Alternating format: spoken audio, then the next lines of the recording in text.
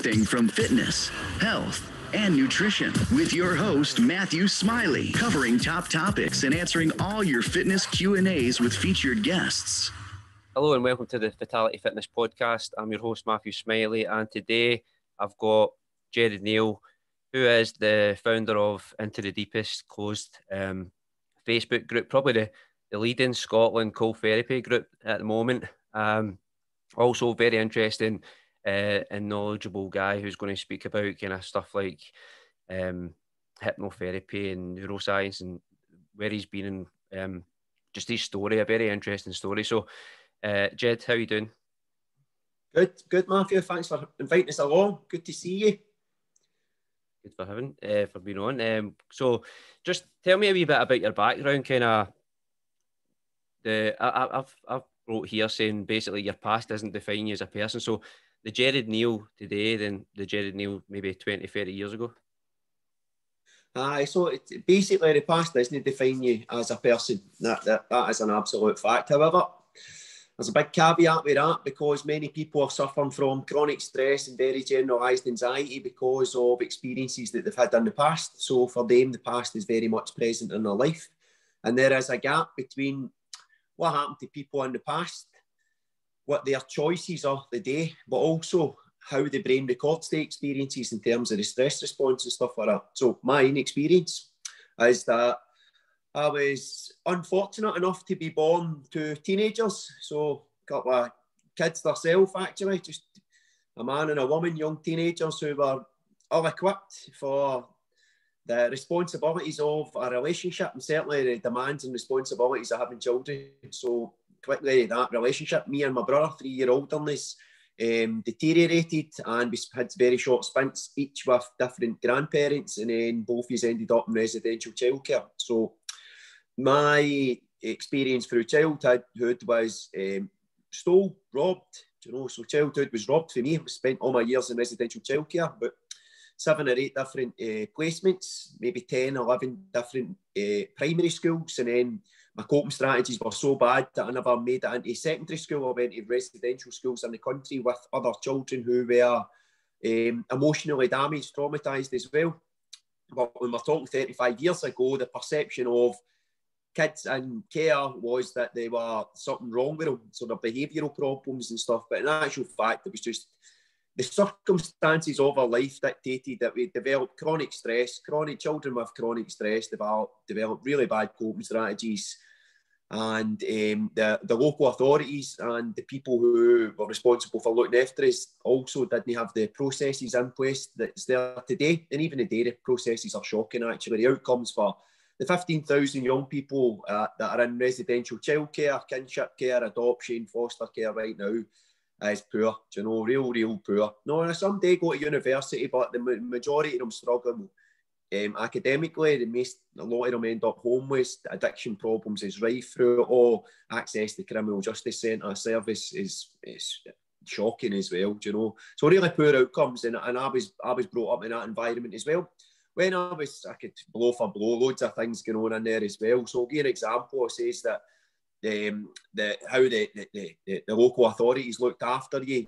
So there's a big drive to know in the, in the care sector, that's what they call the, for people it's looked after for a lifetime of love. you know, there's organisations like Who Care Scotland are really championing that just because somebody's parents are ill equipped to look after them, maybe they've died, maybe addiction problems. Doesn't mean that children shouldn't be able to experience care and love in, a, in any environment that they stay. you know, there's a big drive about that to know. But how we get cared for back then was if we had any emotional problems, they gave us seven fags a day. it's, it's, it's, hilarious, isn't it? It's laughable, but that's, no, that's only 35 years ago. Kids that were 10 in residential childcare, um, the staff that worked in there. So if you worked in the residential childcare at that time, then at lunchtime, at breakfast time, tea time, supper time and at your breaks in between, then you would need to hand out cigarettes to kids, you know. And the, the, ironic thing about all that is, is that the people that worked in there wouldn't have done that to their own kids because you just wouldn't get your 10 year old in and say, right, son, is that you out to have breakfast there, a wee fag before you head to school? You just don't do it. Right? But that was, that's the reality of, of, that you grow up with. So by the time I was 16 anyway, um, loads of stuff, loads of different movements, re-traumatisations, uh, geographical changes, really poor education, Then when I was finished there, just nearly 17, I was homeless. So I got a, a, a bed set, which did really bad coping in terms of um, drug and alcohol use as well, just as a wee guy. And um, couldn't look after that tenancy. It was a rave scene, so everybody was using strobe lights, listening to dance music, take recreational type drugs. So you would go on a party for three days, and three days later you would emerge fit, and that party was in my house. So I couldn't keep managing that tenancy and ended up homeless. And then quite short time after that, ended up bouncing about young offenders institutions. So that was pretty much the, how the formative, the formative parts of my life was. And as a young man in my early 20s, I had really chronic stress, was really, really aggressive, had real bad um, beliefs about myself and what was possible for my life. I wasn't really doing anything that day that might have changed the circumstances or reality of my life further forward. And I had to go on a search to find out what can I do here? How can I change that? Because I can't heal the past in the past. I can only heal the past in the present. And I can't make any changes about anything that's happened in the past or anything that I might become in the future. I can only do the, the changes and make the life choices just now. So the main key for me was is to discover why do I feel the way that I feel? Why am I uh, experiencing these coping strategies and why is my life not working? Why am I experiencing this deep unhappiness and almost fear, like gripped with unknown types of fears about developing and growing? And that sent us on a a 20, which has been a 20 year journey now about breathwork, meditation, and all different stuff. You mentioned some um, some modalities like NLP, neuroscience, hypnosis. So really spent years of my life to try and find ways that are that would help me cope the reality of my life and to change how I felt the day, but also to turn the past into my greatest asset so that I could start using powerful tools that we've all got as human beings, like memory and imagination, to, to harness the incredible powers to travel into the past and take the best of my past or to travel into the future using imagination um, and predict a life that would be exciting. And there's, there's a big gaps between that, but it's possible for for people to achieve that. And that's certainly what I've been working on in the last 20 years. So that's basically where I've been and where I where I am right now. So where was the where was the turning point? Where how did you at what stage did you think to yourself, this is enough, this isn't the life for me, I need to turn my life around and um kind of what was the first tools that you put in place to kind of do that? So many times, listen, let me tell you, see many times as a teenager when you've been lifted again or when you're sleeping in the streets. You know, I know a lot of people these days, particularly at this time of year, which is Christmas, there's a big drive to for charitable purposes, and a lot of people pick homelessness and stuff like that. And you will see people walking about the city centre, big groups of people taking pictures, which is shocking, beside people who are sleeping rough.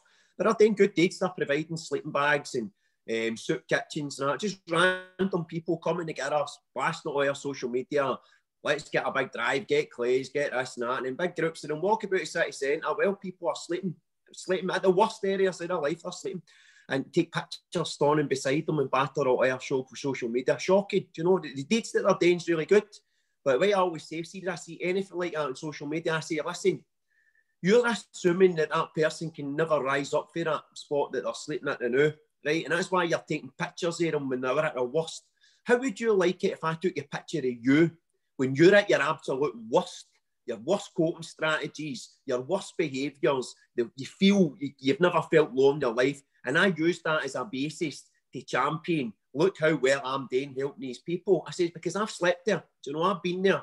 And there was many times when I was rough sleeping, couldn't get into the hostels at night, mad to it, where I was desperate to change, desperate to change. Do you know, I've been greeting myself, wiping away, desperate to change, freezing and starving, and no knowing how to do it.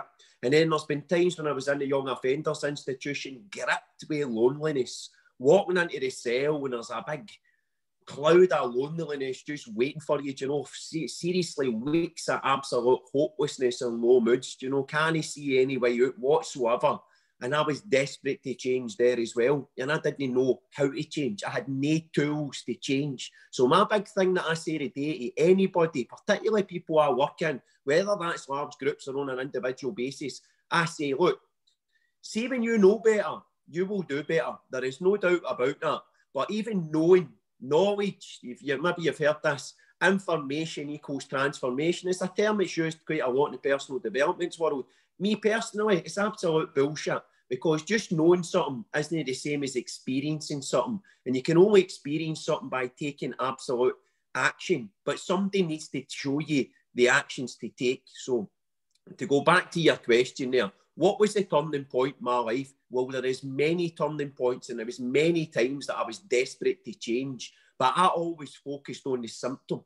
Now, the symptom at sometimes in my life might have been smoking green, green, which is cannabis or grass. It might have been taking cocaine. It might have been taking the recreational type ecstasies and stuff like that, or it might have been alcohol. So they were symptoms, right? But these symptoms, when I was using them as a coping strategy to change how I feel, became addictive. And I would look at them and say, if I could stop taking this, that, or the next thing, then I would be all right. But they're only symptoms, right? So if I only deal with stop taking whatever I'm taking, so say it's booze, stop drinking, then all the reasons why I'm drinking in the first place is going to materialise almost instantly, right? So the cause isn't the substance of the, the coping strategy. The, the problem is is why am I needing something outside myself to come inside myself to achieve a state of happiness, joy, comfortableness, or just to feel right, or even sometimes to get oblivion. So often I would always look at the symptom. If I could do that, then I would be all right, but never look at the cause. And that's pretty much similar in now, Matthew, where people look at the symptoms. So they've, they've got these sensations and these thought patterns and this fear they call that anxiety. So they try and manage anxiety, but what is the cause of the anxiety? Right? And you say stress. But what's the cause of the stress? And that's how the brain has recorded past events. And as you're moving through your life, you're seeing, hearing, and feeling, being triggered by things that you're doing in everyday life that's switching on in stress and anxiety. Now, you're a personal trainer, right? Now, you know that exercise by itself is fundamental important to people's overall health, right? But physical health is only one aspect of health. There's mental health, there's emotional health, and there's that thing I call spiritual health. Now, there's other aspects of health, I always focus on only four things, right? So there has been times in my life and the young offenders where I've not been able to access substances. So it could have been cocaine, cannabis, alcohol, my coping strategies. So I'm left with that big cloud of loneliness, that hopelessness that hung areas for weeks. So I started exercising. So there was a period where I was physically really, really powerful, really, really fit, like top elite athlete fit, right? Amazingly fit as a young man. My mental health was shocking.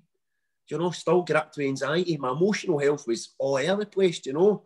So by focusing on my physical health, it was all right.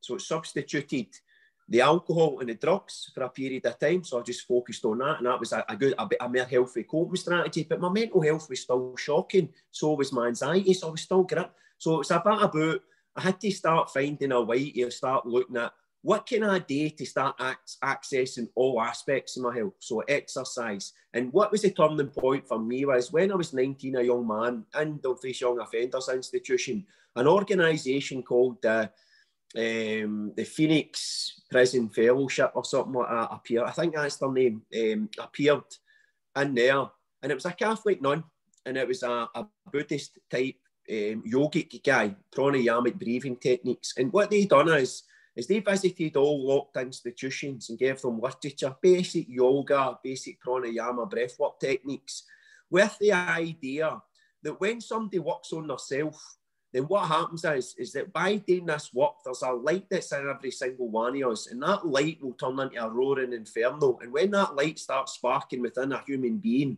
they start valuing themselves because they start noticing their unlimited potential. And when they start noticing their own unlimited potential and that spark lights, they start noticing that other people are also got that spark in them and they've also got unlimited potential. And what they were basically done is, is done a wee talk, and they basically spoke as is that this is a shared journey that we experience. So this our journey through life as a human being is a shared journey. We experience the highs and lows of life. All yours have the same emotions. They'll be um, they'll manifest in different times in different places for different people. But this is a shared journey. And basically what it taught me was is that they taught me that I had the ability for myself, by myself, to change how I felt by practicing things that I was already doing, breath work. So I was already breathing. Now, the day I will tell you, because of the work that I've done, that an average human being breathes about 25,000 breaths a, day. So average mine is about 22,000 because my respiratory rate. So we're breathing this, these, these incredible amounts of breath. Now that's an autonomic, automatic process. So we can regulate our breathing, we can concentrate, we can breathe harder, slower at will. But where are we breathe, where are we aware of it, focused on it, it will happen. The carbon dioxide will rise inside our brain. The brain sends a signal right down to the diaphragm to start moving, to start the process of respiratory, to start the respiratory system. So how we can get oxygen from the environment inside our body and how we can expel carbon dioxide from the muscles and tissues back out into the environment. Right? That's the respiratory system. Now we're breathing 25,000 times a day. And what the people taught me when I was 19 was how to breathe. Just a basic breathing and gave us some books, all different stuff.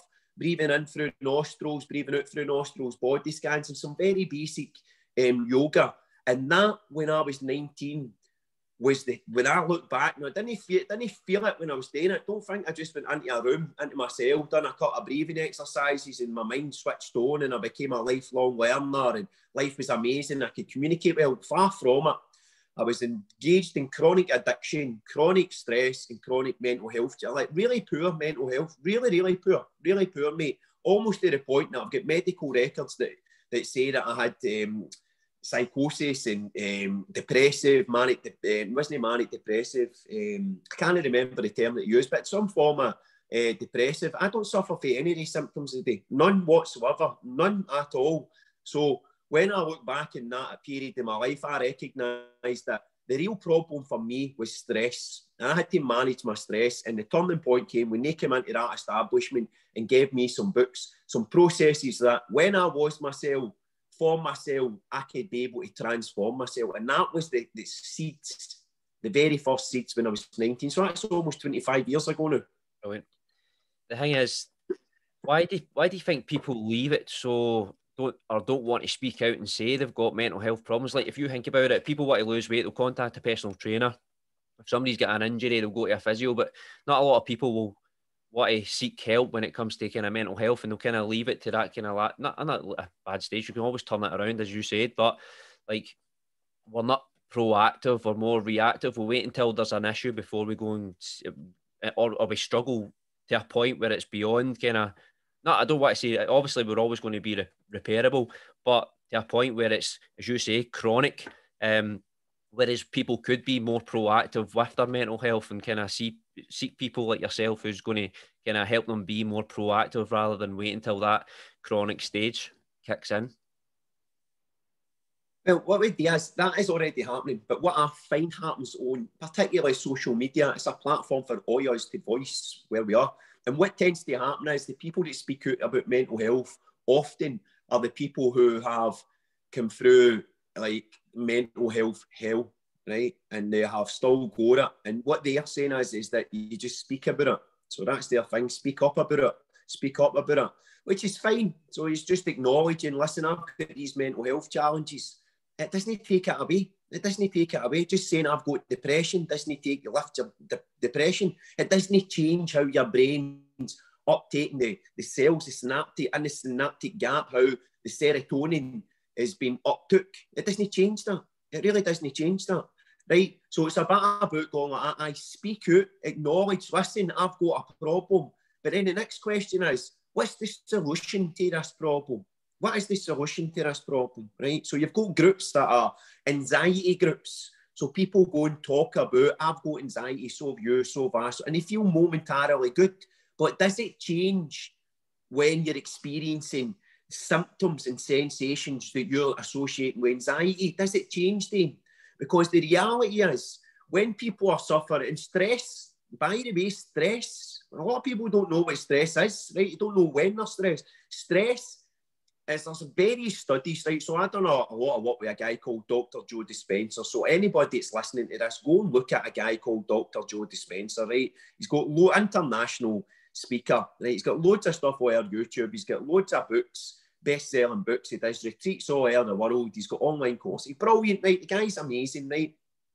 So if I would say to somebody, go and do some work with people like that and go and find out what is the, what is the real problem here, right? What is the real challenge that people are experiencing? Because see if you get again, if you just look at like the symptoms here, oh, then nothing's really going to change. But what's the solution to it all? So go and look at guys like Dr. Joe Dispenza and go and learn some very basic techniques where we can start changing the causes of mental health challenges. But also think about this, Matthew, right?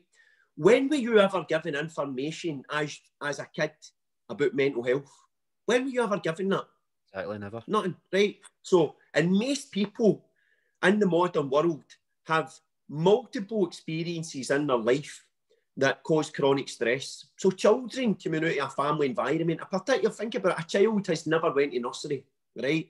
So if they've never went to nursery, they've never mixed with other kids, and all of a sudden they're abandoned to at four or five to go from nine o'clock to three o'clock into an environment where there's another 26, 30 kids in that environment and they've got to look after themselves. Do you know? It's like massive amounts of stress, right? Or kids are getting bullied, or kids are living in environments where there's mental health with the parents. There is parental breakup, which is devastating for children under seven, by the way. Let's not kid anybody on it. has a massive impact as children are forming core beliefs. It's all right saying this is not your fault, but let me tell you that they believe it is their fault that they've contributed in some way towards this um, paternal breakup. It's devastating um, addictions, which is right throughout society right now. We are living in that environment bereavement. You know, people's parents are dying and all of a sudden they've not got any primary carers and they're getting into care and their full lives are transformed, right?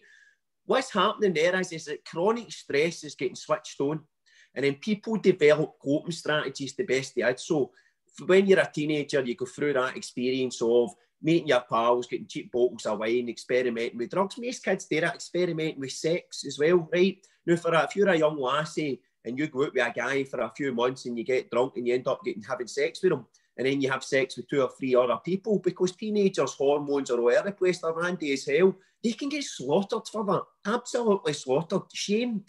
Right? You can get shamed about the clothes that you're wearing, the mobile phones that you've, you've got, how you look, how you sound, or your sporting performance. So all these experiences that people are going through life, right? These happen. These happen to us all. Now, see if you've no got a secure family environment, see if you're not getting into your house and you're getting built up and you're getting made to feel valued, important, then that develops resilience. So a, a kid is very resilient, and as long as they've got a, a, at least one primary adult figure that believes in them, supports them, nourishes them, then it builds resilience, and it means that you're much better able to manage all the distresses that I've described there. But if you're in an environment where you're being abused, you're, you're witnessing domestic violence, you're living with somebody with mental health problems, you are living in an environment where there's addiction in there, you're living in poverty, then all these drivers is what is known as ACEs, adverse childhood experiences, and they create chronic stress. And if you've not got that one adult figure that can give you resilience, then you as a child are going to experience massive amounts of stress. And then if you go in, when you're already experiencing stress, if you go into school and somebody slags you about your class, then you learn that what I'm wearing equals social acceptance. What I'm wearing equals getting accepted into social circles. Now, we've all got a social instinct that makes us want to come together.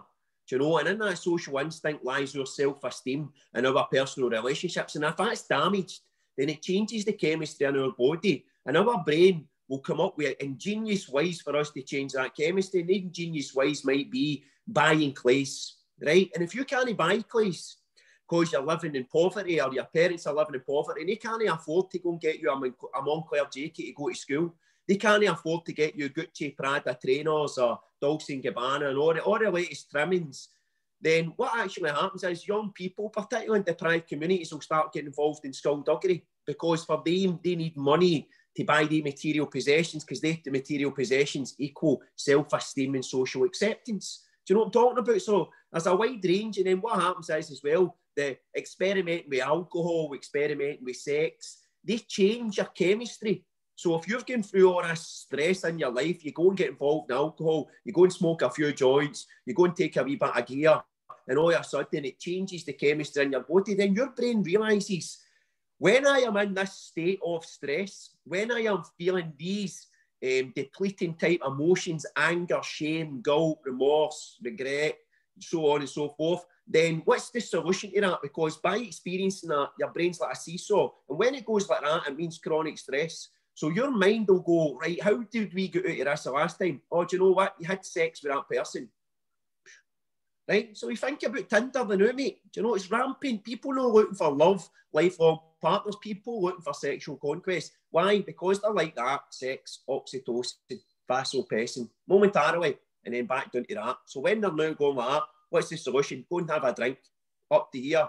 When they're not drinking, down to there. So when you're feeling like that, what's the solution? Go and get a drink, go and get a drink, go and get a line, go and buy things, go and do this. So now people are engaged in all these coping strategies and they're bouncing through it and they're bouncing, trying this and they're trying that and trying every coping strategy in the world. And then they get to their late 20s, early 30s, and it's collapse time. And that's when they go and seek the help for the real problem, right? Because they've tried this, that, and the next thing. they've tried all the coping strategies. And let me tell you, you go and drink, you go and take Charlie, you go and smoke green, you go and have sex with somebody, you go and buy new clothes, new motors, new things, they sex, they all change how you feel, mate. They all change how you feel. How is that? Because they create chemistry in your brain, they create dopamine, serotonin, they create oxytocin, vasopressin, and these are all chemicals that make us feel good, that motivate us to repeat um, actions that bring us pleasure, that make us feel loved and that make us feel connected, and that's ultimately what we want. So the problem for people to know isn't that they're drinking too much, that they're taking too much um, cocaine, that they're they're, they're, they're, they're, spending the full night on Tinder trying to get sexual content. Don't even know who they're messaging half the guys I'm working with because I've sent the same um, generic message to 50 different people trying to get a bite. And they, they don't, but they're unhappy. Do you know, they're selling their soul for a, a short chemical fix. They're selling their soul. So what's the answer? Go to the gym, get a brilliant diet. You look amazing. But how many people you work with, Martin, uh, Matthew, who I look amazing, but they're fucked, man. They're stressed out of box. Do you know how many guys are going to the gym taking all sorts of what they call performance enhancers, which is steroids, to make themselves look great, and then taking all sorts of Charlie at the weekend, and their life's a disaster. Do you know they're involved in domestic violence? They're cheating on their missuses. They're um, traumatising their wains, and they feel shame and guilt, and remorse, but they don't know how to do change it. So what does the brain say? Well, the last time you felt like that, take steroids, go to the gym, get mad with every weekend, and it reinforces the full cycle. So now more guilt, more shame, more low moods, more depressive states. And when they feel like that, the brain goes, I need to get you to this. Steroids, cocaine, jam, have sex with somebody up here momentarily, then bang, when you're doing it, I need to get you to this. And it's that cycle. So the answer to the question, why did he wait so long? Is because they are using all these coping strategies that work momentarily, but eventually you need more and more and more and more, and it's just like breakdown time. I mean, I don't know if you've experienced it because I work with a lot of men, particularly who've come from massive trauma, gang type cultures, um, organised crime, skullduggery, or just your everyday punters who are just like involved in normal life that happens in our housing communities, trying their best, not a sudden damaging relationships, um, um, break up with relationships, feel guilty about being their parents, just feel like a worst person in the whole world. And all the idea is, is they get through all the coping strategies until they stop working. And I have how many men I've seen just greeting, just greeting, man. And I go, I, I, I know that, right? I've seen when I was on the street, that's how I felt. That's exactly how I felt. So you're bang on when you say 10 minutes ago or something like that. Listen, nobody's broken right? Nobody's broken. Everybody has all the resources that they need. But the key thing is you need to know better before you can do better. So when I'm saying go and look at Joe Dispenza stuff, there's a thing, breaking the habit about your being yourself. It is really about becoming honest and conscious. Where am I in my life right now? And what's the things that I am doing myself that's contributing towards how I feel? Because I need to stop doing them. But it's no sometimes for its addiction, it's no a choice just to stop stop the right stop there. We need to substitute the chemistry that you're getting after the substance for something more holistic, which is why we're part of a community that gets involved in cold exposure, hall walking, breath work, and various other forms of social engagement because it's really, really important to break the cycle of being yourself. I was saying, like, obviously, talking about like the comparison being the FIFA joy. Like, I was talking to one of my clients the other day. She's actually a teacher, and they're actually teaching it in school now because obviously you need to tackle it at young ages because obviously you're scrolling through social media and, and talk about it from like a fitness point of view. Obviously, body images, people are saying, "Oh, she looks amazing," but what you only see on social media is the highlight reel. You don't see, as you say, it's like some of the guys breaking into tears or women in like emotional bad states, and you don't see that. You only see the highlight reel. You only see what's good in everybody's life. You don't see the backstory. Everybody's. I mean, it's it's just. I think you need to tackle it at a young age, as you said. See, we see with that point, right? What I'm going to say here, and I don't mean to offend any teachers whatsoever who are doing an incredible, amazing jobs but the demands placed on teachers are incredible, incredible, right? Really incredible. The classroom sizes, we're trying to get it down to 26, is unbelievable, right? It's really unbelievable.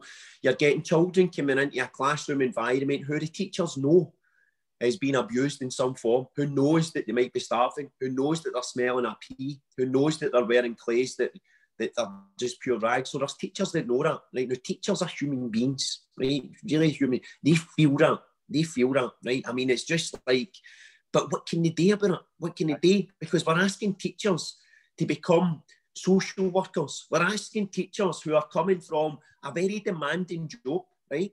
Teachers who have got their own life that's happening outside the school. So they will be coming from environments where there is addiction, where there is mental health, where there is um, trauma. They'll be coming from environments where they probably themselves had adverse childhood experiences or people run about them because this is what's happening in our modern life, right? And now all of a sudden, we're asking teachers who haven't got the best coping strategies themselves, right? Who are often no working on their mind, they're working on their body, but they're not working on their mind, they've not got a regular self-care routine, to then start teaching children irregular, now listen to the word, irregular self-care routines. So when do we get our kids to go into school and before they sit down at their desk, do we teach them very basic breath work? We don't, right? Where do we teach our kids every day how to regulate their emotions? We don't, right? How do we get our kids and teach them havening,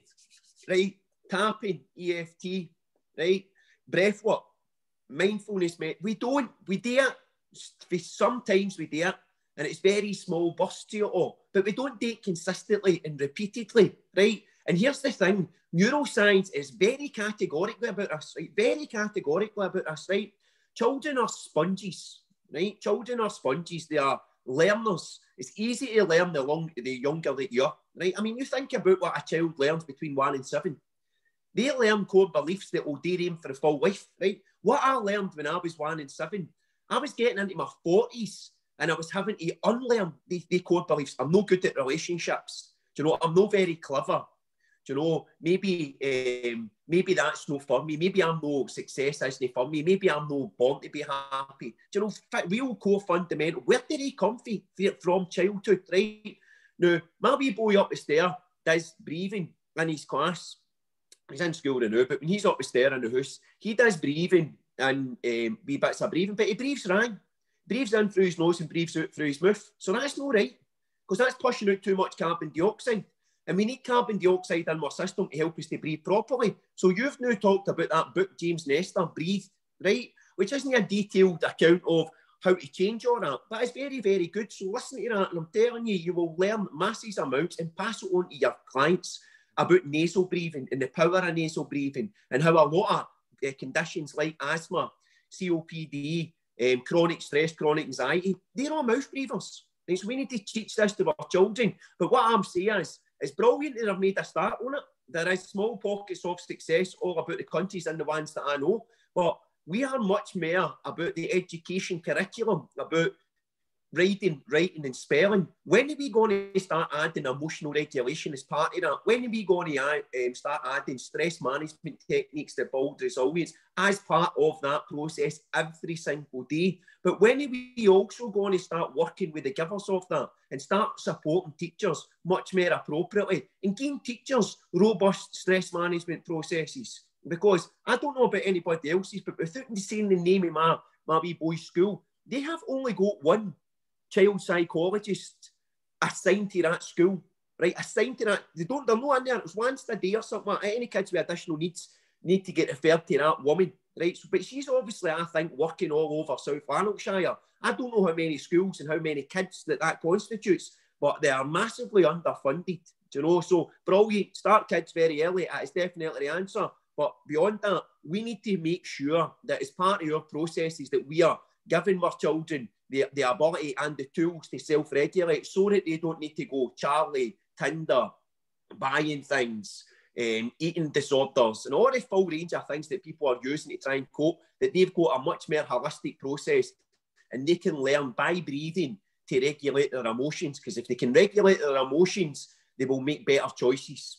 That's a fact. Definitely. Um, so you mentioned like obviously into the deepest cold water therapy you've mentioned previously that this group isn't a mental health group or an alcohol uh, anonymous group or a drug rehab group. But why do you feel that you are now helping people in these situations? Is it feel that these people can relate to you, your life story, where you've been, how you've changed your life around? Possibly, but people like people who like people who are like people, right? So I'll repeat that. People like people who are like people. So if you're like me, I like you. So it's a model of NLP modeling. But what we do is, that we use, um, we mirror, we pace people. So we, we mimic their body language and stuff like that. We mimic their voice tones, the words that they're saying. And people unconsciously will start associating that this person's just like me, so they'll feel comfortable around about them. And that's a fact. People will champion my story, but no everybody. I mean, I've had it stinking. I'm not joking. So stinking means for people who might not be familiar with our local West of Scotland languages, I've had some amount of abuse. I am no joking. I have had some amount of abuse, even after people who were professing to be my pals, who started this group ways, who just wanted to do their own things, big egos all coming out, just slaughtering you, absolutely slaughtering you. I've had even the last couple of days, I've had a guy, a guy yesterday sending his naked pictures of himself. Do you know, just unbelievable, mate. And I'm like, ah, what, what you sending me that for, mate?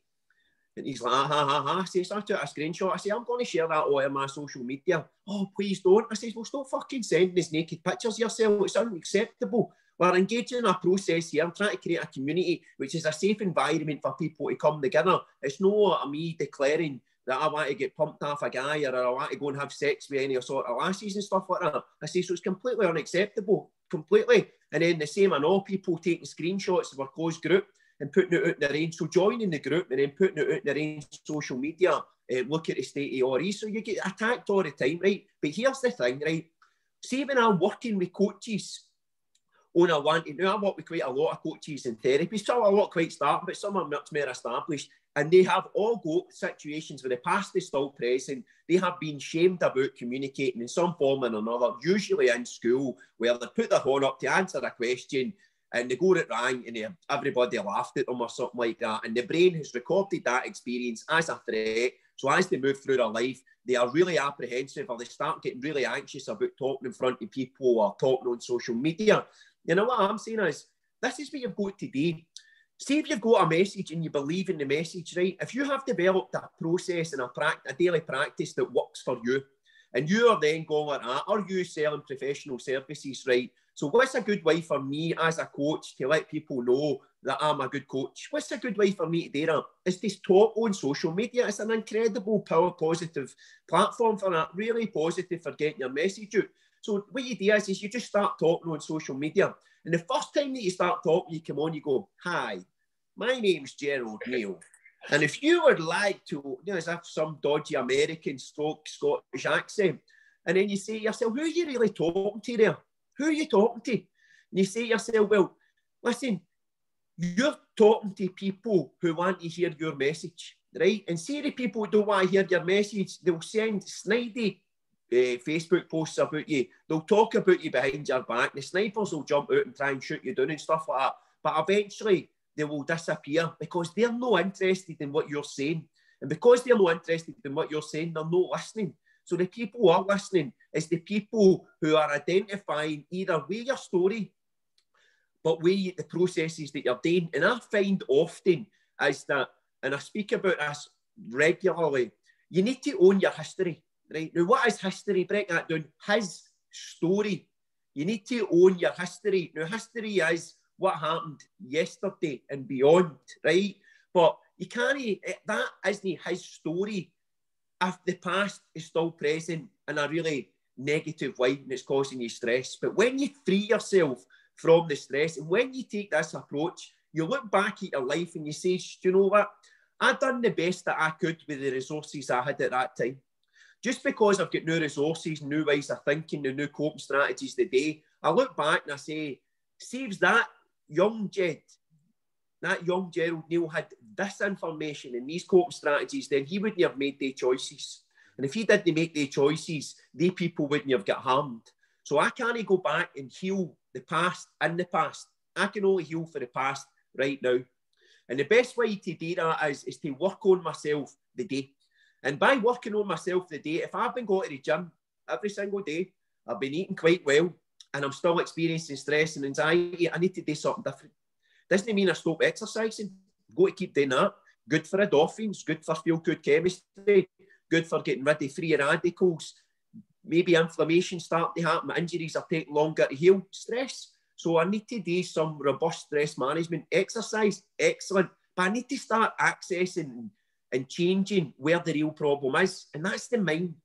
That's the mind, right? And we can definitely access the mind through breath work. We can break through the analytical mind where we analyze things. We can break through that, send our body to sleep, enter the operating center of the mind, and while in there, plant seeds of possibilities of what we want instead. So, for instance, what does that mean? If I'm experiencing chronic stress today, whereabouts is that? Right? People go, oh, just in my belly. No, no, no, no, no. Where are you being triggered? Right? Where are you experiencing this anxiety? What specific circumstances? And they'll say, oh, run about that person, doing that task, going to the shops, just walking to the school, uh, when my husband comes home, when I'm dealing with my family, whatever this, whatever it is, and you say, right, listen, what would you like instead? What would you like instead? You know? And that's where NLP uh, eh, life coaching comes in, where you build a model of what you would like instead, using the senses, see this, hear that, feel this. And then what you do is, is you use breath work to get yourself nice and relaxed. And you just imagine, you use that power of time travel the, into the future. We call that imagination. You use your imagination to imagine being in that circumstance and seeing, hearing, and feeling what you want instead. Now, see if you do that one time, nothing's happening for you, mate. Nothing.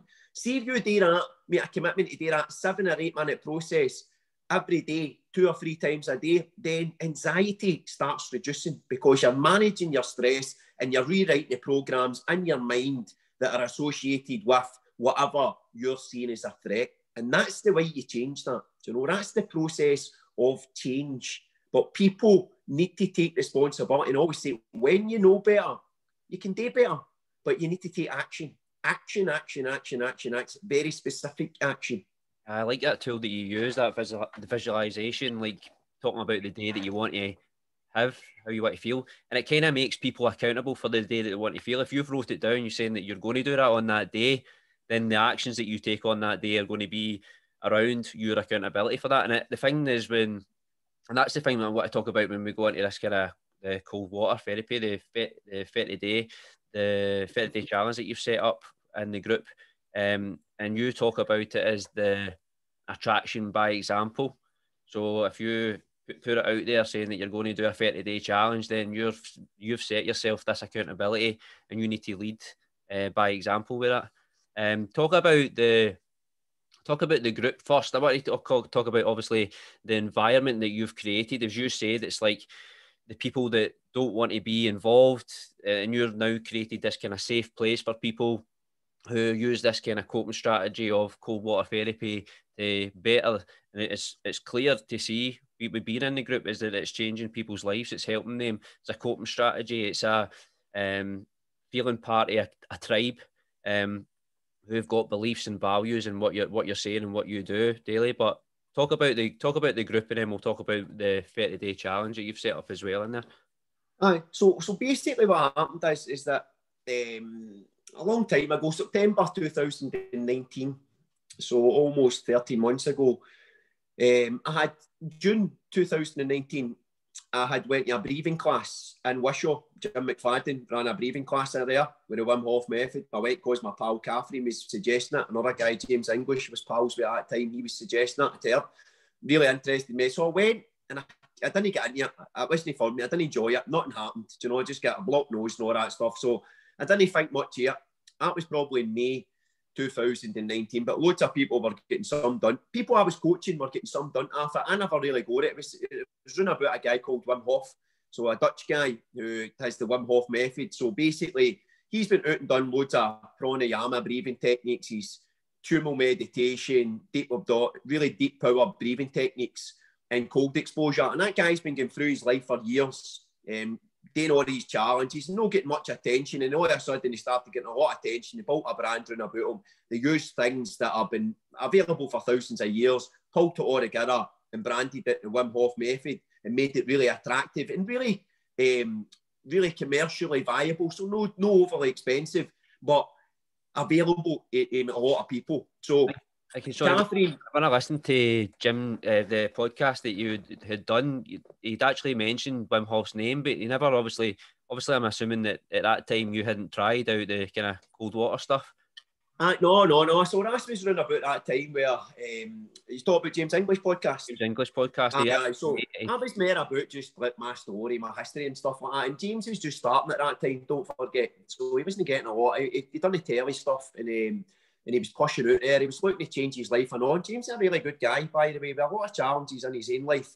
You know, that guy's had lots and lots of trauma. So a lot of people I speak to say, oh, he's doing this and that, he's got lots of money and stuff like that. I said, that's a lot of shit. That guy's on his own journey himself. Do you know, he set a goal to become the number one podcast, and he's done that. He's achieved that. Do you know, he's achieving massive amounts of viewing numbers. At that time, he wasn't. He was just shopping about for people who were local people, was doing quite well he put my story up there and it really identified with a lot of people from my background. A lot of people really identified. I mean, like thousands of people have contacted me through that and um, found us and engaged ways and became friends ways and stuff like that through that. So although we mentioned it at that time, there wasn't a lot of process. So the woman again, Catherine Emmanuel, um, she, she, she started going about uh, an organisation called Heal Scotland, which is useful, by the way, for anybody to look. Lillian Sinclair is a brilliant person. Um, and they started doing, um, Jim started doing his breathing classes. So Catherine says, look, come along, they're really powerful and stuff like that. So I started doing my own breathing practice. And then there was a couple of people round about us who started doing their own breathing practices as well. And I set up a, a wee chat and I set up that Facebook page just so, because chats are, WhatsApp groups are too busy when there's 30 or 40. So they ended up at the start going up the Campsies and it was just a couple ways and going up the Cobbler, it was a couple ways. And then quite quickly it was like 20 and 30 people coming up there. Um, it was starting to get cold, but then people started adding to the page who weren't doing it. Do you know, and I was getting a bit apprehensive. It was getting to last winter. The weather was really poor.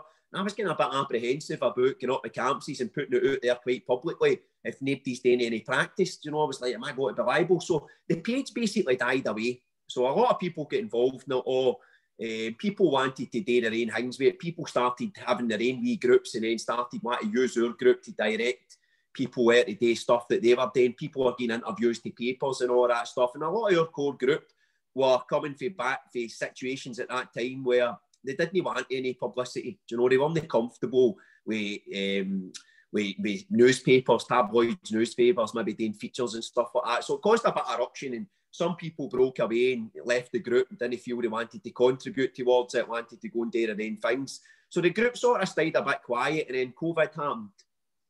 But what happened is, is that we had a core of about 25, 30 people that I, I was having to um, engage and motivate. We started meeting up very regularly and just going out ourselves and adding one or two to that. But then again on um, November there, I started saying, so uh, October, November, I says, I'm going to resurrect this. So I, I, I opened up a wee bit, I was getting quite a bit of interest. So I just started doing live talks on my dynamic creation page, Tub Talks. Right, and really started talking about the benefits that I was experienced through cold exposure and introducing some basic mobility exercises, which has been great for me because I've had massive amounts of chronic stress in my life that I developed like um, pain, so inflammation in my body, sore back, sore knees, sore hips. So I started doing very basic mobility exercises, yoga, outside called yoga. I done the Wim Hof um, uh, 10 week fundamental course. I went on the Wim Hof fundamental three day retreat as well. But what I found with the Wim Hof is that the breathing technique made me quite psychotic. I've got to be honest with you, it really switched on. It is a technique that makes you stressed. It's really useful for certain conditions and for certain people. But quite a lot of people in my group started experiencing real anger issues, you know, really chronic stress and these symptoms started materializing. So then a few people stopped doing it and returned back to feeling all right. So at the start, that group was called the Scottish Hoppers. Then I changed it into the deepest. Now, the term into the deepest, I've heard that a number of times, but I've heard Wim Hof saying it as well. So into the deepest means no into the deepest pools or water, into the deepest part of your mind. So using cold water to access your mind. So because of that, and because I stopped, I was having these really severe reactions with the breathing technique, like really, really severe, shocking, shouting in my veins, um, jumping out my motor, like road rage, things that I've not experienced for many, many years, right? Now, because I'm a stress and relaxation therapist, all the symptoms that I was experiencing were some signs of people in really chronic stress, like really chronic stress. So I had to stop doing that breathing, and so had many others. But some people still do it and have success with it and a lot of other people are having massive um, experiences with it, so they don't do it. So we don't advocate the Wim Hof method at all, right? Although a lot of people they do the Wim Hof method who are in it, but anybody can engage in cold exposure. Anybody. So that's why the page is about cold exposure and no champion just one brand like the Wim Hof method because they're a commercial brand who are uh, set up to sell money. They did give quite a lot of giveaways and stuff like that, but we're no advocating any particular brand. We are saying some of your members have got all different breathwork techniques, meditation processes, and some have got none at all. None at all. But everybody has developed a cold exposure practice. So what I started doing is then talking about it. When I started doing lives into the deepest closed face, yeah, closed Facebook page, into the deepest closed Facebook page, then the 30 day challenge, which I just made up. Right, there's been loads of 30 day challenges. There's 30 day challenges run about exercise, run about cold exposure. Loads of people have just done it, right? So we're not rewriting the wheel. We're not rewriting the wheel with cold exposure. We're not rewriting the wheel with any breath work. Any breath work that I do, transcendental meditation, any mindfulness techniques, any pranayama breathing techniques, any stress management. These have been about for thousands of years, hundreds to thousands of years. Some are the more neurosciences, more um, more explaining why things happen, more explaining the chemistry, but the process has been done for predates Christianity, right? So what we then I started doing into the deepest, into the deepest, into the deepest, and before this lockdown happened there, what we were doing was is that large groups of people were coming together, like large groups of people. But again, people joining the page and starting to do. Um, we're going up the Campsies at that time, and then they start to try and post, oh well, we're going to go an hour after you. Try build up their own profiles using the page and stuff like that. So they're away again, right? So then the lockdown happened um, again there, and a few of our core crew, we said, look, why don't you just take us into your own community? So one in particular, Michael Toner. So we had an idea. We were going to go up and do Duck Bay Marina, uh, Duck Bay Marina up there on a Saturday. So we done it one time. I'm not sure if you were there. There was about 30 odd bodies turned up. And then the next week it was lockdown. So Michael stepped up. So they've got their own group down there taking the plunge, which is just like phenomenal, brilliant. It's growing. And there's groups all over the place, right? So now you've got a situation where it's like the pages really just become a place where people can meet new people, find out. So people in Aberdeen, is there anybody in Aberdeen out? And there is people in Aberdeen, is there anybody in Edinburgh, Lanarkshire, Ayrshire? So now it's just a group of doing that. But the idea is to try and get formal things where formal meeting points and people to take responsibility, which is quite difficult. Do you know? So if I, I've had a situation where people are saying, I will be out up at Chateau Row at 11 o'clock that morning. So now people are coming into the page. Is there any meetups in Lanarkshire? I said, aye, well, that person's posting and they're not, they're not turning up. Do you know? So it's, it's unacceptable, really. So now is it the day is people want to say, I'm going to be at that place, then they can post in that. But really, to make the page really attractive, it's about practice. It's practice. So I'm not wanting somebody to just post on it. Listen, I just done a five minute shower. Yeah, it was amazing. It's brilliant. They just get a message back and says, don't don't say it there, which is a Glaswegian term for don't just talk about it. Actually, let's see. So let's see you get in your cold tub. Let's see you get in the shower. Put your clothes on, your shorts, your sports brand. Go in the shower, go in the bath, and that's what's happening. So when you were saying, is people being inspired by me? No, because a lot of people can't take to me, and some a lot of people they take to. Right, that's just life. That's life. Right, I'm not meaning that as like they don't like my personality or whatever, but they might look at me and say, "Oh, look at him. It's no problem for him getting into call shot and all the beliefs coming out." Oh, I can't do that because the grass is green. I can't do that because the sky's blue. No, nobody's saying that, but it's just as well saying that. It's saying I can't do it because I'm too old, too big, too little, um, too young, too handsome, too ugly. Do you know what I'm talking about? It's just all these reasons why we can't. It's all bullshit. But if you post something, Martin, uh, Matthew, then a PT person, fuck, if you can do it, I can do it. Or maybe a PT guy's working the man in the gyms. You see, he's getting some publicity posting all that. I'm going to do it. Right? The idea is they start posting it and it inspires their clients. And then you get, my wife goes and does it and inspires some woman. Uh, Liz, a woman, Liz, I know, in her late 40s, early 50s, she's doing it. Mature woman, getting a lot. So new mature women are doing it. So the idea is, is that we inspire people by what we're doing, not by what we're saying. Aye. You know, and it's is it a mental health support group? No, it's no, because there are other places where you can go and get it. People have posted on the page before, before I started regulating the post, um, seeing what's what's acceptable and what's no. People started posting, oh, see the day, my depression kicked right in and, and I really wanted to do it. I just couldn't find the wall to do it. I couldn't do it. So I, I didn't, I, I, didn't do it. people are maybe putting that on there so people go, oh, coochie, coochie, coo, that's terrible for you what you're doing. And I'm not minimising that people are not experiencing that, but what I posted on it and says, listen, there's going to be something that you can do to change it. And he's like, oh, I just couldn't be bothered. I says, well, do you know what? Go and go on a cold shower. See if that fucking changes how you feel. And it does. Go for a walk. Do you know, go and phone somebody, go and talk to some. So don't say, well, no why just there's a problem. There's other places that you can go and do that. That's great. But what we do get is, is we do get people who are having mental health, really chronic mental health challenges that come on and say, listen, I've been demented, experiencing this and that. I've started on this process and I'm feeling a bit better. And the idea between the meetups regularly, which is for us, is Tuesday up the Campsies at seven o'clock, every Tuesday, seven o'clock. Head tops is on when it's dark. And every Saturday morning at eight o'clock up the Campsies as well. Sometimes there's 10 bodies and sometimes there's 30 bodies. But the idea with that is is that you do your individual practice every single day. But when you're able, come and join us. Now, I don't know if you've been watching stuff, but I do, right? And what I see is people I know who have had some really, real tough life um, experiences, right? Crawling back from massive trauma, massive addiction, massive mental health, and also um, trying to come back to reality for our coping strategies, maybe coming out of prison or maybe coming out of toxic relationships, trying to rebuild their life. People are in hostels that are on the page as well. You wouldn't know that, right? Because I know, say, I'm in a hostel, but they're practicing. What you see is, you see their first video and they're in a bath and you see their big toe, right? That's what you see, your big toe. And you hear them, oh, this is cold and stuff like that, right? But, oh, try to go, hi, my name's Gerald Neil, try to talk on ice, right? And then you see them a, week later, you see their ankle, and then you see their knee, and then eventually a week later, they're doing a wee video. Right, now, has them doing cold water changed the circumstances of their life? No, of course it hasn't. But what they've done is, is that they've learned that there's things that they can do that can change how they feel, right? And what they've also learned is, is they've learned to break through the bullshit in their mind, which is something in the past it's still present, sort of developed social anxiety, how I look, how I sound, um, how people are going to judge me. All this bullshit is going on in my head. And a wee bit, you see their toe, or you see their shower, or you see their bath, and then they start talking, and then they find their voice, and they realise, do you know what? I'm part of something here.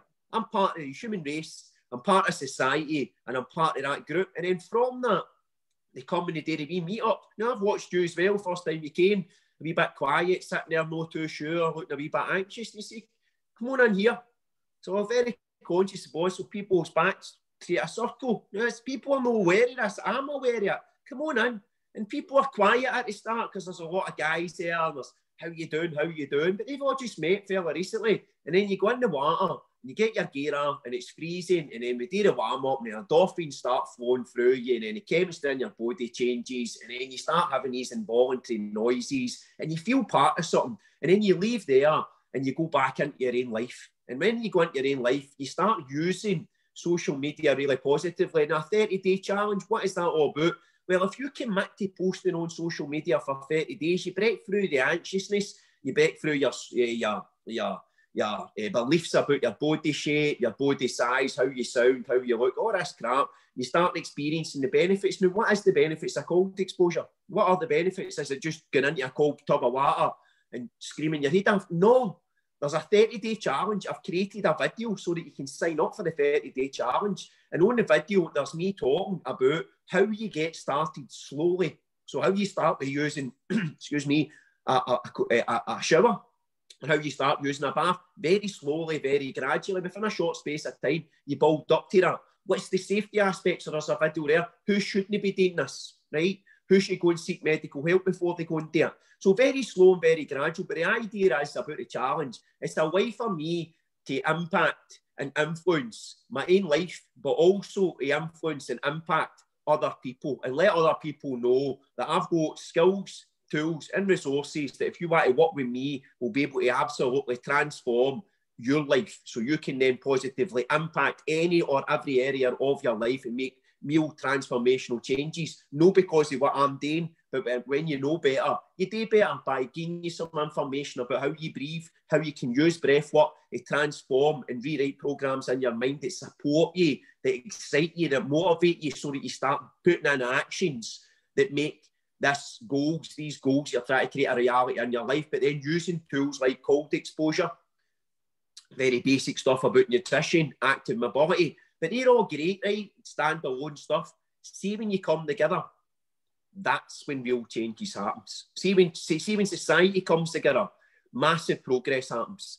You see when a way back, Matthew, hundreds of years ago, there was a clan system in Scotland right? And we never achieved much economic success because there was all these different people. Sometimes they worked with each other, and, it, and, that, and that goes back thousands of years. It was all the tribes and stuff like that. See, when we come to come together and we share our resources and we share our experience and our skills, we do better. See, when we come together and we share our experiences, we feel as if we're no longer a second class citizen, as if we're outside looking in, and we actually realise that we're part of something.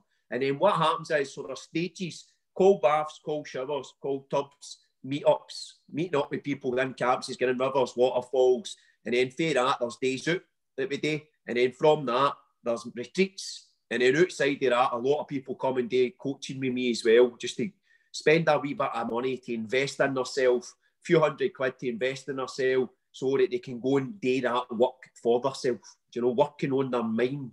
So lots of processes. So the group is amazing. It's really brilliant. If anybody wants to join the group, they're free to do that. Read and answer the membership questions. Why is that important? Because we're creating a community where on social media, if I'm having a terrible day, sometimes I will speak to somebody through a message in a way I would never do their face, right? And also, the written word can be construed differently for the spoken word. You hear my voice, Matthew, you can hear the emotion in it. You can hear the tone in my voice. You can hear the compassion, the support, or the criticism by know the words I'm saying, by by how I say them and how I'm carrying myself when I say them. But if I just write the same thing down and you're having a terrible day, then you can perceive what I've wrote in a way that suits you. So in that community, the idea is if you can't lift somebody up, don't rip them back down.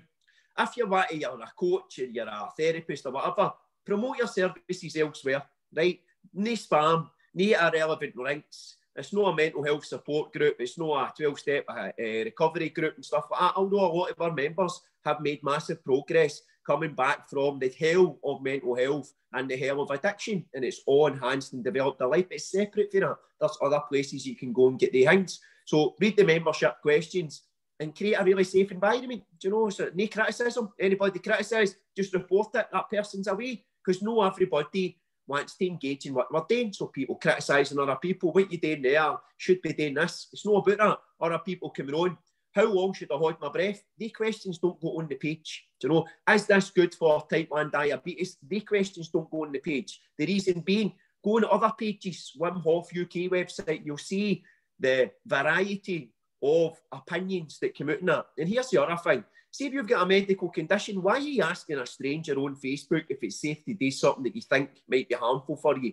Go and ask your doctor. you know, go and ask somebody that's a properly a medical appointed. And if it's safe for you to join us, start with cold showers, start with cold baths, start slowly, very gently, and you will notice if there's any challenges. You build up your tolerance to that, then come out to the community and get involved, and it becomes a lifelong process. Uh, it's amazing how you see that in the community. It's like I, I listened to a book during lockdown, Lost Connections. It's talking about how you, when you feel part of a tribe, you feel, as you said, your emotions go flying. Um, but you can see how much support there was within the group. Obviously, I started out just seeing your videos. You kind of, I, I knew you'd done the kind of workshops, and I think they were a Tuesday night, and I was working at the time, couldn't make it to any of them. Started going to the camps, and as you said, it's like getting me involved in that group, and you could see it. People, uh, people, all shapes and sizes, all different backgrounds of life, uh, just encouraging each other to um, try it out, get involved, and uh, uh, and talk about talk a wee, wee bit about the kind of retreats and what's involved with them, because obviously we kind of meet up in a group in the retreats. Aye, so the retreats are powerful. So they're low cost retreats. About the new, the new where we are, the new. So it's 150 quid for a single person to go. The retreat starts tend to try and get it to start at one o'clock. We would do some cold water exposure on a Friday, but we normally go into the accommodation at four o'clock. And then what we do is, is we do a, um, a, a, series of cold water processes. We do walks in nature, no hot walks because it's adverse weather there now, but we do walk five or six mile through um, glorious mountain valleys and stuff like that, low level walks. Um, we get wee chats, we do some check-ins in the morning. So we do wee feelings checks in the morning. We meet for group meditations in the morning. There's some breath work practices and there's some life coaching that happens round about the model. So we teach them some very basic, we, I teach them some very basic breath work. So it's only a five minute process, deep abdominal breathing, which is really brilliant for stress management, for stress reduction and reducing any symptoms of stress, depression, anxiety, so on and so forth over a longer period of time, but you'll change how you feel almost instantly. So we set that up when people start doing five minutes of breathing, and then we start using a wee neuroscience cognitive behavioural process where we start thinking about the day ahead. So thinking about your day ahead in the best case scenario, who do you want to think like, act like, and feel like? If the best version of Matthew steps up during the course of this retreat, how are you going to decide how you're going to think, act, and feel? So when I take you out, Matthew, it's Saturday morning, you've no slept that well because it's a it's a different bed that you've been in and stuff like that. You've just done a night dip. You've had the heat torch on. It's been exhilarating. You've done some talking in front of people for the first time for a long time, just about very basic stuff about how you feel. You go to your bed, you don't sleep well, you're up at seven in the morning, doing meditation, and then you're in a waterfall and it's only two degrees and it's fucking freezing, right? So when does that change how you've decided on a Friday night you're going to think, act, and feel for the weekend? Does it? So do we let external circumstances change how we think, act, and feel? Or are we going to decide, me, myself, right now, to draw a line over what happened in the past and what might come in the future and decide this is who I decide I'm going to be? So for this weekend, I decide I'm going to think like this. So it could be like really positive, and I'm going to think about other people. It could be just as simple as that. I'm going to act really um, calmly or confidently, and I'm going to um, act good communication and I'm going to feel confident and courageous. So whatever it is that you need to work on, so other people could be confident, grateful for whatever you pick up, you just write it all down. Then I just imagine, use your imagination. Just imagine every couple of hours we stop, right? Bit of breathing. Right? Just imagine this is what we've got to do in the next couple of hours. Imagine yourself thinking, acting, and feeling like that, right? So that when you go into the cold, you're tired. Man, I can't be bothered doing that. The heat's going, ah, what are you doing? Matthew, what you doing, man? You shouldn't have came here. You know you're no good running about people. You're different for people. I mean, I've been in, I'm not saying you. Oh, I mean, I've been, I was in the young offenders. My mad didn't want is I'm no good at relationships. I'm no good. Oh, this shite you're a day. Your kid fucking on you, sabotaging you. You say, you what don't know. Man, buying into this shit. What do I do? Breathe in, breathe out, breathe in, breathe out. Five minutes. No how do I want to think, act, and feel instead? And you just practice. So we set up that model. And then because we've not got a lot of time, I normally um, set up a wee model where you just have a look at your life the now. And everybody has a look at a life. Where are you currently spending your time, your money, and your energy? Looking at people, uh, roles, responsibilities, activities, things that are important to you, and then rank them. Where where are you right now? So you look at it, you say, right, well, my health's only a five, um, but my finances are an eight what do you think you should work on? So it's clear, isn't it? So you go like that, well, maybe I should have a wee bit more focus on my health. So it's like brilliant in my career. And this is this is a common thing, right? So people um, money, money's got to fix everything. Material things will fix everything. So people get bullied when they were at school because they were a tramp. It's me I'm talking about. So all of a sudden, Dolce Gabbana, Prada, Gucci, really important because if I wear them, social acceptance, fitting into social circles, right? So people have done that. So to get that, you need to work really hard. So people focus massively on their career, 60 hours a week and stuff like that, right? And, and they're just eating a lot of shit. And all of a sudden, they've ended up with all sorts of money, overweight, feel terrible about themselves, stressed out of box, their relationships are in tatters because they've focused primarily on money. So this is a great exercise to look and say, hey, what my personal relationships are for, right? It's nearly on life support here, right? What about my uh, my relationship with my kids? What about my finances? What about my career? What about my personal development, my contributions? All this stuff, right? And then you look at it and you just rank it, just subjectively. And then what I do is I say, right, pick an area right? And I'm, I'm hoping they're going to pick something that's low rather than something that's high. Pick something, I'll say, define what you would like instead. So if every area, everything was in there, every everything in that area was exactly the way you want it to be, what would it look like, sound like, feel like? So you're defining the, the tense, you're creating a model in your mind of how will you know when you achieve that goal. Right, so if it's a body shape, if it's a if it's a, a, a health thing, and you're looking at physical health, you might look at and say, well, it's my eating habits. It could be my body shape. So it could be a feeling. So you might go like that, for instance. Like, how would you know you achieved the goal? What would you see? Well, I would see myself at a wedding wearing a nice black Hugo Boss suit. Do you know, I've had that up the cupboard for years. I can't get it anymore. So I put that on and my skin's looking great. I'm looking very athletic and I'm dancing about and all that sort of stuff. And so, so, so there's a bit of evidence that would support. And the idea is what we go and do is, is I teach them how to write a program in their mind using breathwork um, and create visualization. So they start visualizing the future. And it doesn't change it, but what happens is we're just planting these seeds of possibility right in the brain. And what we're doing is, while we're in that period of mental rehearsal, deep meditation, creative visualization, call it what you want, while we're in there, then what we do is, is we code that false memory that we're putting in, we are feeling, how would it feel? How will you feel when you achieve this goal? Ecstatic, amazing, grateful, confident. And then we practice a wee technique where you start coding that memory with that. So basically what happens is, is that the reward centre in your mind, the limbic system, which is associated with addiction, by the way, it starts associating being that certain body shape with something that's that feeling. So because that feeling's so desirable, the brain starts releasing dopamine, which makes it highly motivational for us to repeat the actions that get the reward, the reward being that feeling. So we then start doing a very basic meditation in the morning, very basic visualization. Now, of course, to achieve a certain body shape, I need to make good food choices. I need to do a calorific. Um, I've got to start reducing or increasing my calories, right? So I've got to do that. I've got to exercise, right? I've certain things I've got to do. So there's actions that I need to do.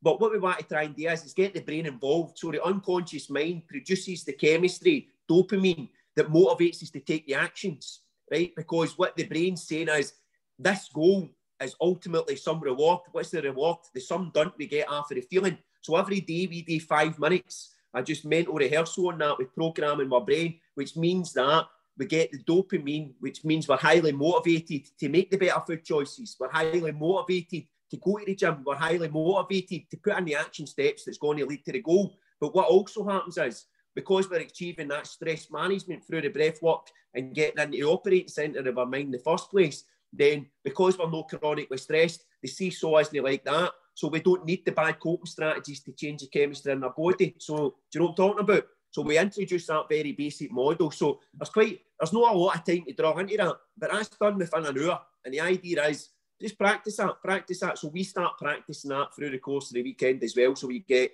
Walking outside, you get emotional regulation through talking about yourself. People are para, so we introduce a wee talking stick, break it all down, and then people start finding their voice, just talking. I feel a bit anxious, or I felt like this, but I'm really inspired to do this. I'm really inspired. I thought my body shape, blah blah. What a shite, man, that people believe about themselves. And you just go belief shattered, belief shattered, belief shattered, belief shattered, and then replace it. What do you want instead?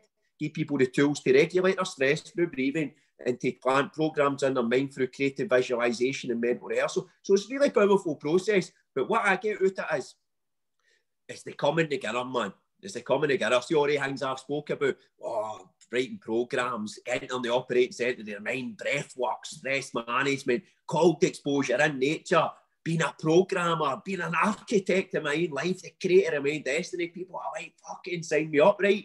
But that's not what you get. What you get is, you get all that, right? But what you really get is, is you get to connect with a human being, right? And when you connect with a human being, with other human beings, you create vasopressin, oxytocin, serotonin, and they are what really brings the seesaw here. And every we do, sets, right? Buying things, um, drink, drugs, um, and all that. All it's doing is getting here. Why is it doing that? Because it's changing the chemistry in our brain. It's creating vasopressin connection, oxytocin, love, and it's creating um, serotonin, feel good chemistries. It's creating dopamine, repeating the same. So we've got all these chemicals going on in our brain. It's not just like, oh, right, release oxytocin. They're fused together.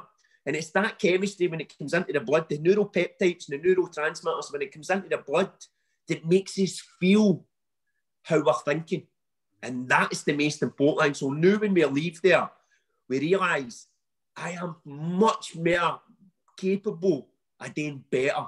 And I find that most people in their life realise and also know that really about to say I thought I would have been doing a bit better than where I'm off right now. I really did. I thought at this point in my life, I thought I would be doing better. This is no what I envisioned as I was growing up. This is no the relationships I thought I would be having. This is no the earning capacity. This is no how I thought I would be feeling, looking, thinking, acting, whatever it may be. And you say, right, well, that's good. That's fine. What would you like instead? Well, what do you want instead? And see if you say to somebody, do you know that you're the creator of your own life, the creator of your own destiny? They'll go, hi, I know, I believe it. I've seen Joe Dispenza, Bruce Lipton, of the law of attraction, I've read The Secret, absolutely believe it. But they're not doing anything about it. They're not doing anything about it. Do you know, they might have a wee belief up here, say one belief that I believe that that's true, but I've got a hundred thousand other beliefs in there that are sabotaging them every day to tell them why you can't do it.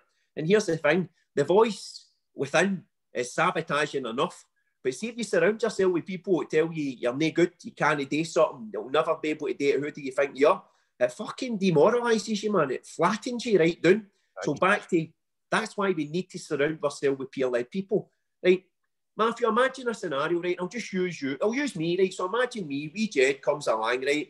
His mad doesn't want him. His dad doesn't want him, right? For whatever reason, good reasons, and they've made their choices in their life for. They'll have reasons for that, but the net effect is I feel unloved, unwanted, and I go into homes and in the homes, as soon as I start acting out, traumatised, stressed, they move us somewhere else. So all of a sudden, I get pure shamed about my behaviour.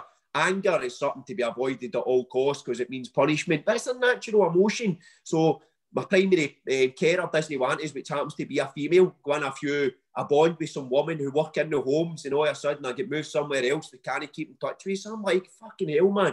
If I get connected and attached to somebody in a relationship here, it means massive pain and massive stress and massive abandonment, right? But I don't know that.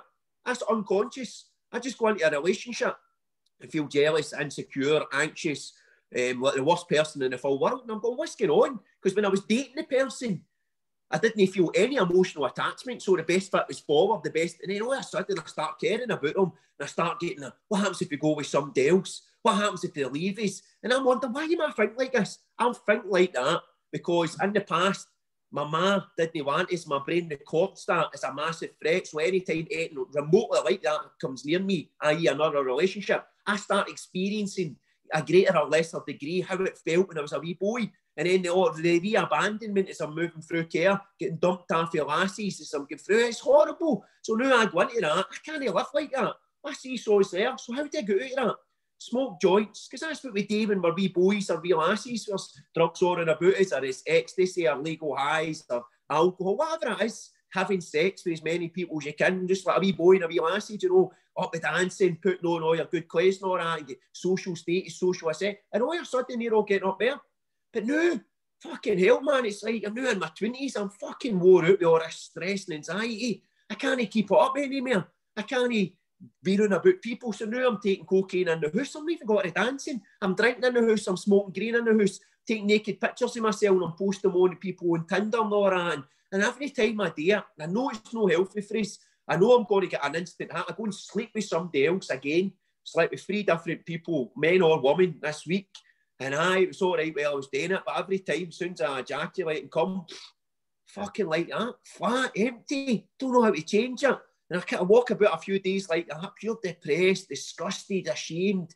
And my hate brain goes, What's the answer? I need to get this character out of here. Get yourself fucking Tinder. So then I start texting people, oh, you look great, you look lovely, you know what I mean? Do you know what I'm talking about? And all of a sudden, we end up like this, we end up like that. And what we need to do is we need to change. But all our pals are doing exactly what we're doing. We feel as if we can't tell anybody because we're ashamed or embarrassed about our coping strategy, the people we've slept with, the money we're spending, the debts that we've ran up the, the, the, the persona that we put out to the outer world is just bullshit, man. There have been so many people to, to, to everybody. Oh, I need to be a gangster with you, Matthew, because you're a tough guy. Oh, I need to be a comedian for you because you're dead funny. I need to be dead confident for you because you think I'm dead confident. I need to be dead needy to you because that's the way. And all of a sudden, being all these things to all different. Who the fuck am I? Who am I? I'm lost. I'm dying here, man. I don't know how to cope with this. I'm fucked, absolutely fucked. I'm stepping out into the world and I'm kidding on everything's all right. I'm back in here. I don't know how to be a good partner. I don't know how to be a good parent. I don't know how to change how I feel. And I'm just, I don't want to do these things, but I keep on doing, why am I doing these things? Why am I keep repeating these actions? And here's the thing. All of a sudden, somebody says, jump in a cold shower, join this challenge. And you join the page and you start with cold showers. You do the toe scenario, you do the wee voice, and then you kid on, you're somebody that you know, your false persona comes out. And then eventually you get involved in the community and you realise, you know what, I'm not alone. I might be a lone wolf in my circle, but there's actually hundreds, thousands of people out there. And all of a sudden, I'm going to use social media really positively. I can do what I want my own social media, fire in, do what you want, but on this social media platform, I'm going to put my best foot forward. I'm going to respect everybody. I'm going to build them up and I'm going to encourage them. Now, think about this, right? Imagine your missus has left you, right? Took the reins away you've been mad with it for whatever the substance is, you've been mad with it, you've been unemployed, you're stressed out your box, right? Your mental health's in tatters, you're stuck in the house all the time, you smoke hundreds of fags, your diet's pure shite, and the doctors giving you whatever tablets they're giving you to substitute the substance you're taking to this. And all of a sudden, you don't know anybody whatsoever, and you put a post on social media, dead scared, your first call bath, and you get 50 likes and 20 comments. How does that person feel? You think about it, how does he feel? He feels like the worst person in the world, the loneliest person in the world. Like, like, like, like, like. Well done, mate. Keep it up. Brilliant. Hope we see you up the camps. He's not. He feels fucking connected, man. The chemistry in his body changes. It's only momentarily, right? So it's no going to last forever, but it changes. And all of a sudden, it motivates him because he's getting a like, getting a good comment. He gets a reward. What does he get a reward? Because he gets vasopressin, oxytocin, serotonin. And what does that mean? The brain snapshots that experience. And anytime he feels like shite, the brain's going to tell him, repeat a process that gets you a reward. So what's the process? Day two of the cold water challenge. Day two comes on, likes, positive comment, brain, snapshot, into storage. Next time thinks about a cold shower. So now he thinks cold shower, cold water, unconscious mind equals vasopressin, serotonin, oxytocin. So what happens is the brain produces dopamine to help them repeat actions that bring them pleasure. So now all of a sudden the coping strategies, drugs, isolation, sex, porn, whatever they may be, are slowly being replaced by holistic processes because the holistic processes are giving them the same chemistry that they're looking for through the other stuff that they're doing. you know? So it's like I know for some people I think is that quite complicated, but that's what we're doing. So when you're working with people and you're talking about mental health, it's really useful to know what processes that people can do that will change their chemistry. Now, me and you know the physical benefits. How's your, you're already a fit guy and all that anyway, mate. You know, you're solid, but have you noticed any more toned to your body just for the cold water, any more energy or? Ah, it's hard to say because obviously with the weight loss, obviously I've been cutting for a bit anyway with watching calories and stuff. But for me, it was uh, like in the morning, I, I'm obviously in the gym at like half six. If I get a cold shower, I'm alert all day. So alertness definitely helps. Um, I find it more. If you had said to me before, go and do ten med to ten minutes, a kind of meditation, I'd probably like put it off or whatever. But you can't help but meditate when you're in the water. You, you start to look about you, don't you? You start to take in nature. You start to look at things. You, it just, I think it just opens your eyes. And, and as you said, it's like the that feeling of being connected with a group of people as well. It's like I sh- I done like um, thirty five thousand steps on Sunday. I should have been in my bed sleeping by ten o'clock. I couldn't sleep all night. I was buzzing, like, and you could see it in the group, and I could see it with your reaction when you came on and done a talk. Like everybody would have walked away for that experience. And as you like said, it, it was a point in it. We were all coming down the hill. We were all cold. We were all wet. We were all getting ready to jump in the water, and mood was probably a wee bit low. And then you get Ross in the background like, I ain't coming all this way. No to jump in the water, and it just built everybody up. And it's that that's the same as in that group. It's like if somebody is feeling down, like I'm not feeling that motivated, but when they look on the page and they see other people get it done, that builds them up and they will get it done. So the stuff like that's just been amazing. And and as, as you said, for me, it was like I came and I wasn't unsure of people. And then as you said, they started to get introduced and started to meet people in the group start to hear their stories, start to hear where they've came from and their experiences, where what they're doing with their kind of practice, where it's been breath work, meditation, cold water therapy, and how it's basically helped to change them. Uh, where can people where can people follow you and get the details to kind of join this group? Can I steal a couple of minutes, Matthew? Because I want to give some giveaways here, right? Um, for some people, right? So some stuff will be my stuff, but some stuff is other material that is easily accessible but really powerful and can have a really good impact on people who are saying, "How do I change?" Right. So firstly, there's on my social media, there's Dynamic Creations, which is Facebook. So that's my coaching page, Dynamic Creations, is on Facebook. Instagram, Dynamic Creations 3580. Quite a lot of stuff on there. So I do a daily top talk talking about beliefs, some breath work, sharing a wee bit about my own wee day and my own wee journey and stuff like that as well. So I can, you can do that. The other closed Facebook page is called Into the Deepest for people who want to engage in cold water uh, challenges. Anybody who wants to engage in this safely, how do you join the cold water challenge? I will contact me and I'll send you the link.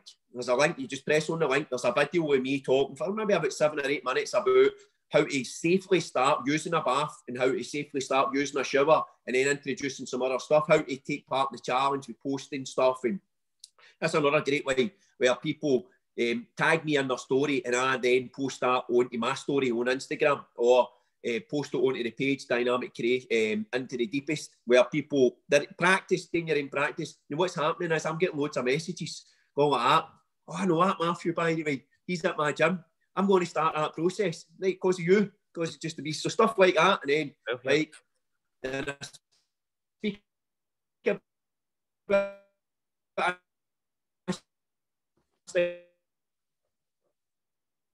people off from home. I put McMuffin like he's man for you. Mad they call him Mad Jimmy, right, man? Because there's a reason for it, right? Because his coping strategies. All of a sudden, Mad Jimmy's like, ah, what a shite called water, right? And then all of a sudden, he meets somebody, we Mary McHoff, and he's like, Mary, Mary, you look amazing. God, I've not seen you for weeks. What you up to? It's looking brilliant. What's going on? She says here, I was listening to this crackpot and he's garden on dynamic creations. And he was talking in a, a cold tub about a 30 day challenge. I says, oh, fuck it, man. It's, it's lockdown. I'm doing it.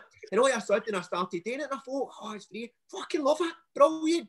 Better with the veins, better with my husband. Blah. So Big Jimmy's like, is that right? Who is this guy? So he comes on all macho. I go there. All of a sudden, Big Jimmy's jumping about like amazing. People are going, Jimmy, you're like a new man. He said, I know you followed this and then he repeat his story. And all of a sudden, not because of me, but because of Mary, Jimmy gets involved. Because of Jimmy, or his name, and all of a sudden people are learning a tool, a process that they're already doing, bathing, and they're just tweaking that slightly and getting all these massive benefits, you know. But there's a safety video, so people want to join. There's a easy way how to do it. There's a link. You just sign up. You just put in your email address, put in your name. You go on a mailing list for me. You can unsubscribe at any time, but on that mailing list, you'll find out about events, courses. So on that, I'm going to release an online coaching course. So it's only 97 quid, so it's pretty uh, well priced. I'm going to discount it actually. It was 147, but I'm going to make it 97 quid so people can spend some money and learn a really powerful coaching process with lots of breath work, how to create models of the future, how to set goals, how to program the mind for it. So that's going to be released soon. So if you join the mailing list, you'll get access to that. I'll speak about that in social media. Um, that's my stuff really there. The online courses. Obviously, there's the online retreats. So every month we've got retreats. So the next the next couple are fully booked anyway. So the next one's the 4th and the 5th of February. That's open for booking. So 150 quid for a single person. You get a single ensuite room. It's pretty much like a hotel. You deal with your own transport to get there. It's just outside Fort William. And then there's also, you deal with your own food. So there's big, big fully loaded kitchens. You just prepare your own food, communal areas and stuff like that. Um, if couples want to go in their shirt, they're in a bubble. So it could be partners, uh, husband, wife, father, son. If they're in a bubble, they, they can go and share a room that's 250 for them. So it's 125 quid each. So that's what's happening there. Couple of good giveaways. One's really good for Audible. Right? It's quite technical, but I find it really good. You can get it as a book, but you can get it in Audible. It's called Atomic Habits, right? And that will explain basically what I was talking about the process of activating that reward, the limbic system in your mind so that the mind starts producing the dopamine the mesolimbic part of the brain that produces dopamine to motivate us to take action associated with creative visualization. That's my bit, but explains the process about how to do habit stacking and stuff like that. It's really good for people, particularly cold water. So really? Atomic Habits, guys. Outstanding book, James Clear. Hi, outstanding James book. Clear, yeah, his website's decent as well. Another one is really, really good. Uses a lot of stuff that I do as well. It's Dr. Joe Dispenza, Breaking the Habit of Being Yourself. Again, technical, but well, well worth it. Right? Really worth it. Um, I would highly recommend that. And any his stuff. So that is quite expensive. So for instance, I've done the online retreats probably about 1500 quid. The online courses maybe two, 300 quid. The advanced retreat in Berlin. But these are all brilliant value added things. So I would highly recommend it for him. Another really good one, despite the fact that the breathing's no for me, but for other people have had really good benefits, is the Wim Hof website. There are a lot of good giveaways as a commercial venture, obviously. So, but I find them very well priced. Um, for instance, the Dairy 10 week online fundamental course, which is basically just basic yoga. You're already doing it anyway, mate, to be honest with you. But for some people looking just to get started, then that would be pretty decent. I see the, mentioned that you're starting the cold showers for the timer and all that. The Wim Hof uh, app's yep. pretty decent. I think you get, I think you might get 20 days free for that, so you can do the 20 days. And I sort of stuff like that. So I do that one caveat I would put with that, their web, their, their Facebook pages, um, there can be some good stuff on it, but there can be some stuff with people who's just know well as well, obviously. Um, so where that, but I, so I would recommend I jump on that as well. Um, if you're in West Dunbartonshire, there's a, there's a group down there called Take the Punch, Michael Toner and Vicky Murphy, really good people. Um, they'll go through the growing pains that I have been through the last year odds as well, but they are um, that's a good page for doing that. And they're banging, they're really quite busy. We're up the Campsies a Tuesday and a Saturday, so you can join in with that. Um, and also uh, on the 27th of December, there is a coaching, full day coaching. It's only 20 quid a ticket. It'll be up near Clydebank Way it'll be 50 people maximum. I think the restrictions will be fine. It's in an environment almost like a, a restaurant type environment, so we need to wear masks and so on and so forth. But full day's coaching course for 20 odd quid. So that's a bit, there's about 10 spaces left on that on the 27th of December. So quite a lot of stuff there. Breaking the habit of being yourself, Wim Hof website, Atomic Habits, and my overall favourite. Um, also, Breathe by James Nestor. Excellent. Breathe by James Nestor on Audible as well. Doesn't go into too much details, but explains in detail why mouth breathing is really bad for you, why nasal breathing is really beneficial for you, why um, breath holds is really beneficial, why we should maybe only do power, power, Tummo type meditations once a week rather than every day. And his idea is that it uh, supports my idea as well, actually. And everything that I've done in the last 20 years, that breathe slower breathe less and breathe deeper. So breathe in about five, but always in and out your nose. Breathe in about five breaths a minute. So do that repeatedly, four or five times a day for a king mate. Really brilliant for managing stress. So it's a brilliant book there. And my all-time favourite right now is the Oxygen Advantage, which has got tons of information. So I'm, I'm training up to be an oxygen van. So really a bit about um, how we can really use the power of oxygen to really incredibly release like massive amounts of uh, beneficial um, processes inside our body that will have massive impacts on our physical and sporting performances. So really good lot of giveaways there. You uh, have you read the Power of Habit? the power of habit. I've no read it. No. Send me your details. I'll, I'll send that over. I've got it in PDF there, so worth worth a listen as well for for habits as well. Um, yep. And obviously, yeah, cheers for coming on. But I'm looking forward to meeting up with the group again. Obviously, we um, a lot of the people down West Dunbartonshire are finishing their um, 30 day challenge, and we looking to join them for the walk. Hogmanay. Yep. yep. Yep, yep. So on the 31st of December, we're looking to do a, a, walk into the deepest, which is another walk. So it's like, um, it's pretty good because a few members of our group step right up and we break it into very small groups. You've seen yourself, um, different different levels of fitness. You get people shepherd you up, shepherd you back down, but people do need to have appropriate footwear. So we're going up into the mountains. It is winter. You need to have robust walking boots, um, Gore-Tex type jackets, hats, scarves, rucksacks and um, a really good level of fitness because uh, you're not getting half two hours up there and then no managing it, you're struggling to get back down yourself. So, aye, so I would always recommend with things like that, people join and get that information through our page.